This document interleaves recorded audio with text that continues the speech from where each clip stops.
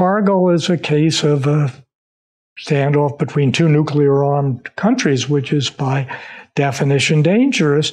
And all of us wonder how the how we got into it and how it evolved the way it did.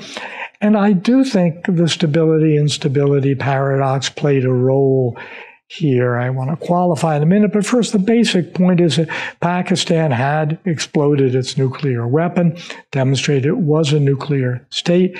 And I think it gave Pakistani leaders some confidence that they could use that as a shield behind which they could do provocative things, just as the stability and stability paradox indicates. Now, they tried to reduce the risk. They claimed the uh, people who had crossed the line were not regular Pakistani soldiers and all that.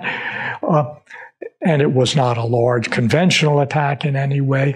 But I do think their bomb emboldened them by believing they could deter India. But of course, there are a lot of other things involved, and uh, we're not sure we understand all the decision making.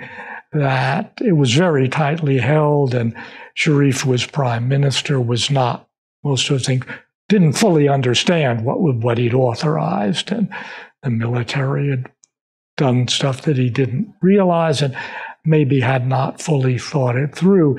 But at least on one level, I think it does represent uh, the act, the operation of the stability and instability paradox.